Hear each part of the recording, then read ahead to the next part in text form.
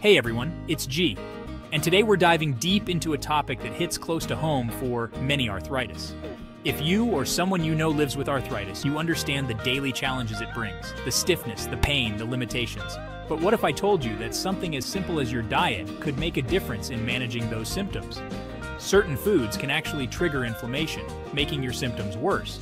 So, in this video, we're breaking down 10 common foods to avoid if you have arthritis, and I'll give you some healthier alternatives to try instead. Let's start with the usual suspect sugar. We all know it's not the best for our overall health, but when it comes to arthritis, sugar can be a real troublemaker. Sugar triggers the release of inflammatory messengers called cytokines in our bodies. These cytokines are like little firecrackers going off in your joints, leading to increased pain and swelling. Instead of reaching for that sugary soda or donut, try opting for natural sweeteners in moderation. Things like honey, maple syrup, or even stevia can satisfy your sweet tooth without sending your inflammation levels through the roof. But remember, moderation is key with any sweetener, even natural ones. Pay attention to your body and see how it reacts. The goal here is to reduce overall inflammation, and cutting down on refined sugar is a huge step in the right direction. Your joints will thank you for it. Next up, let's talk about saturated fats. You'll typically find these in fatty meats, full-fat dairy products, and processed foods. Just like sugar, saturated fats can fuel the fire of inflammation in your body, exacerbating arthritis symptoms.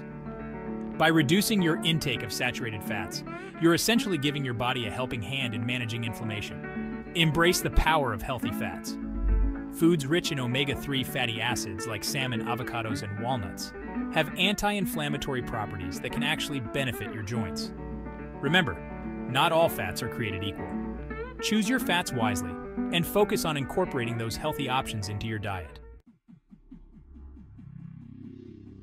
Now, if saturated fats are the troublemakers, trans fats are the repeat offenders you definitely want to avoid.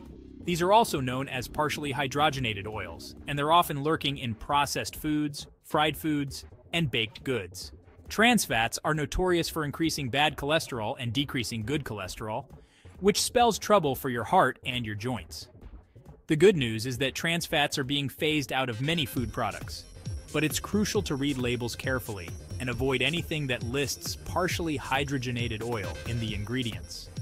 Instead of relying on these processed culprits, opt for healthier cooking oils like olive oil, avocado oil, or coconut oil.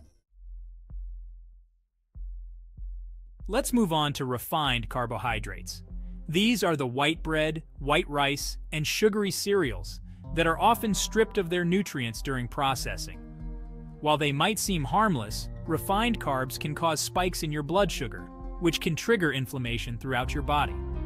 Refined carbs send those levels on a steep climb, followed by a rapid drop, leaving you feeling tired and your joints feeling achy. Opt for complex carbohydrates like whole grains, fruits, and vegetables instead. These fiber-rich options provide sustained energy, stabilize blood sugar levels, and help keep inflammation in check. Choose wisely and prioritize those that nourish your body and support overall well-being. Now let's talk about gluten. Gluten is a protein found in wheat, barley, and rye, and while it's not a problem for everyone, it can trigger inflammation in some people, especially those with arthritis. If you have arthritis and notice your symptoms flare up after eating gluten-containing foods, you might want to consider getting tested for gluten sensitivity or trying a gluten-free diet for a while to see if it makes a difference. The good news is that there are plenty of delicious and nutritious gluten-free alternatives available these days. Pay attention to your body's signals and work with a healthcare professional to determine if gluten is a trigger for you. Let's talk about MSG, or monosodium glutamate. This common flavor enhancer is often added to processed foods, restaurant dishes, and even some packaged spices to enhance their taste. While it might make food more appealing, MSG has been linked to inflammation and other health issues. If you suspect you might be sensitive to MSG, it's best to avoid it altogether. Fresh herbs, spices, garlic, ginger, and lemon juice can add tons of flavor to your meals without the potential side effects. Read labels carefully and choose fresh whole foods whenever possible to minimize your exposure to MSG and other potential food additives. Now let's address the elephant in the room, alcohol. While a glass of wine with dinner might seem harmless, excessive alcohol consumption can actually worsen arthritis symptoms. Alcohol is a known inflammatory, and it can interfere with your body's natural healing process. If you enjoy the occasional alcoholic beverage, moderation is key. Stick to the recommended guidelines and choose drinks wisely. Your joints will thank you for it. Let's talk about salt.